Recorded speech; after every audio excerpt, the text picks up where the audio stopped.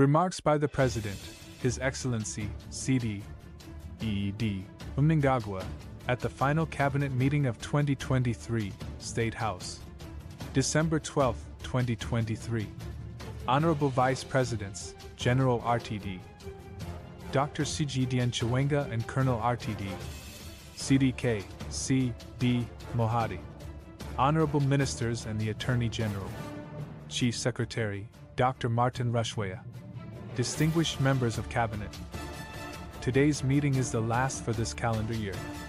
You will recall that following our party, ZANU PF's resounding victory in the 2023 harmonized general elections held in August, we were able to seamlessly continue with the business of government. This is testimony that our country continues to entrench constitutionalism, deepen democratic practices, and improve bureaucratic efficiencies as we march forward towards Vision 2030 guided by our development philosophy. Nika Inovakwa, Inatanwa, Inonamatigwa Naveen Veo. Elizwi Lakawa, Libaswi, Likil Kawin Gabanakazi below.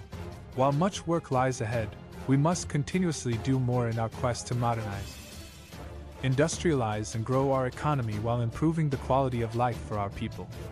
The growth of the economy notwithstanding, all ministries must work harder for the achievement of impactful results in our various programs and projects. As such, Cabinet must now accelerate the implementation of National Development Strategy 1 so that our National Vision 2030 of an empowered and prosperous upper middle income society is attained much earlier. Your work is therefore cut out for you. Hence, cabinet recess does not mean that we close our offices completely. Government business must not be disrupted and your availability to attend to issues remain integral. Meanwhile, I want to assure the nation that government is closely monitoring the weather, with signs increasingly confirming the El Nino prediction of a normal to below normal rainfall season government is putting in place the necessary measures to mitigate the adverse effects of the undesirable weather phenomenon. I also wish to point out that the overriding principle of the cabinet system is collective responsibility, which ties in well with the whole of government, whole of society approach and our endeavor to leave no one and no place behind. To this end, we convened the government high level retreat on September 14, 2023 and thereafter, induction sessions for ministers and permanent secretaries were done.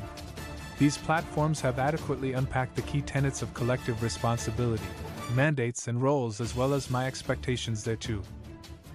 Towards ensuring that government work is properly coordinated. Recently, you also shared experiences with colleagues from the United Arab Emirates, as part of strengthening our administrative apparatus.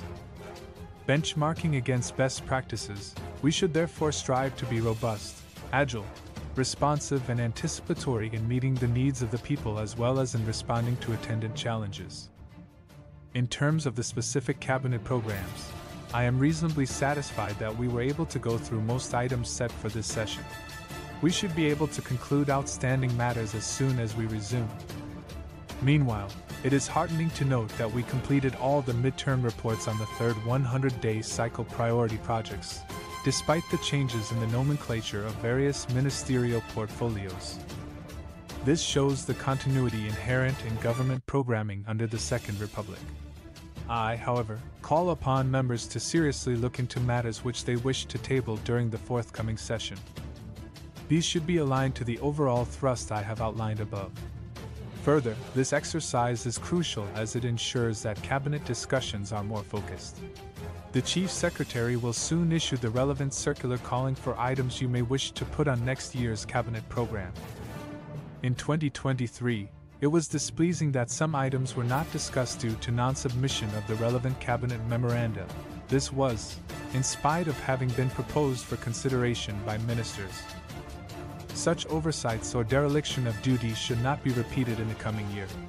Another critical area of concern is the increasing tendency by some ministers to table substantive matters under any other business. This practice must stop.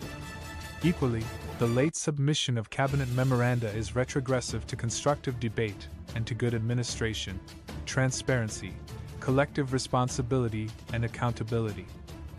Please adequately liaise with the Chief Secretary on such matters and be guided accordingly. Be advised that, going forward, you are called upon to regularly undertake critical and succinct self evaluation of programs and projects under your portfolios. To inform focused and coordinated programming, ladies and gentlemen, the expectations on us to deliver are high after the new mandate to govern bestowed on us by the electorate in the August 2023 harmonized general elections. We must not be found,